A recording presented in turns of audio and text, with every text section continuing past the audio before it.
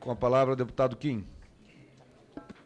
Senhor presidente, quero primeiro parabenizar os colegas que estão com, com o requerimento de, de informação. Acho importantíssimo que a gente tenha o máximo de subsídio técnico possível para debater uma matéria tão complexa e que envolve tantos, ah, não só interesses corporativos, mas o interesse público em si da sociedade, que é necessário que a gente tenha todas as bases de cálculo utilizadas pelo governo para que o debate aqui aconteça no mais alto nível possível.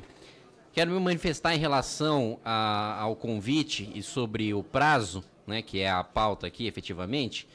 É natural que o ministro da Economia vá antes e seja convidado antes, compareça antes à Comissão de Constituição e Justiça. Né? O trâmite da matéria é evidente que o ministro é, está muito mais qualificado para falar sobre o conteúdo, muito mais qualificado para falar sobre o mérito da questão do que sobre a formalidade, a legalidade, a constitucionalidade, que é o que é debatido na Comissão de Constituição e Justiça.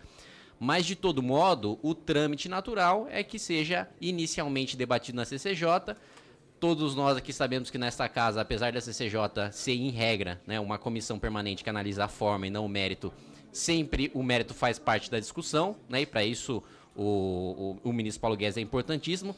E uma das questões né, que mais tem sido levantadas pelos parlamentares é justamente a, a desconstitucionalização da questão previdenciária, que envolve diretamente também o, o próprio, próprio ministro Paulo Guedes, nesse sentido e que acho que deve ser e faz sentido que seja debatido antes do que a questão de finança e tributação. Então, uh, refuto o argumento, repudio o argumento de que seria votado a toque de caixa ou seria votado sem nenhum tipo de debate. A gente sabe que, sejamos realistas aqui, mesmo nós que somos favoráveis à reforma da Previdência, a gente sabe que dificilmente o calendário do primeiro semestre vai ser cumprido. Né? Nosso empenho para a aprovação da reforma é grande, mas nós, todos nós conhecemos as dificuldades. A certeza que nós temos é que vai haver o debate, que o debate vai ser amplo, que o ministro vai comparecer é, na Comissão de Constituição e Justiça, vai comparecer na comissão especial, que, é que vai analisar a reforma previdenciária e vai comparecer também nesta comissão de finanças e tributação. Não vejo problema nenhum, aliás, defendo e parabenizo o líder do governo, aqui, Major Vitor Hugo, pela proposta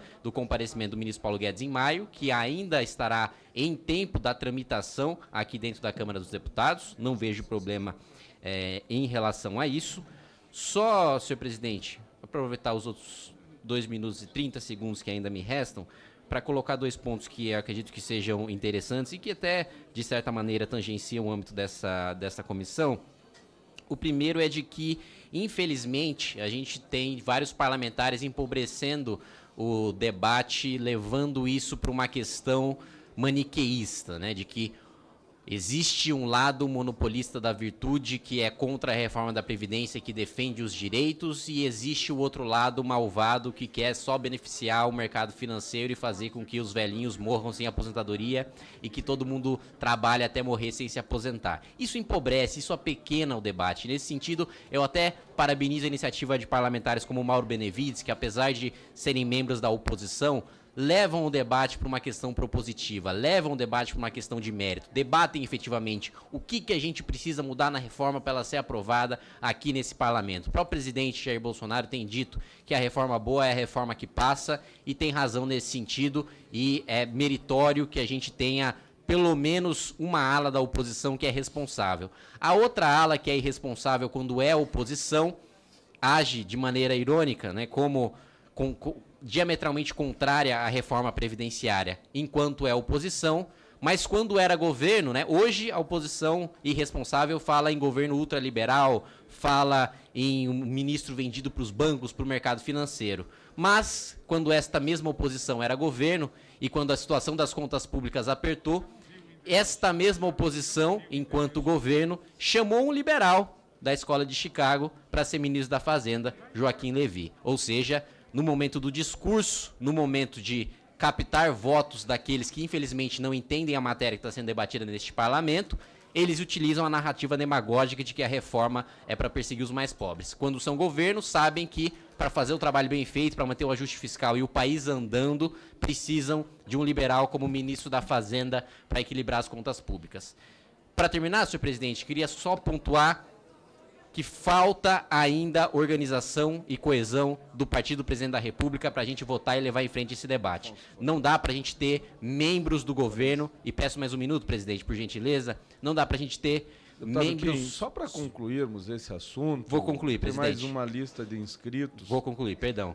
Só para concluir, acredito que não dá para a gente ter membros da base ou membros do próprio partido do presidente da República chamando a reforma de um abacaxi que vai ser descascado com os dentes. Porque não se trata disso, e ainda menos quando, quando você é membro do partido do presidente da República, que sequer existiria nessa casa, sejamos sinceros, não fosse a eleição do presidente. Portanto, acho que, no mínimo, essa base do partido do presidente deve lealdade e deve votar a reforma. Obrigado, presidente. Obrigado, Sua Excelência Deputado.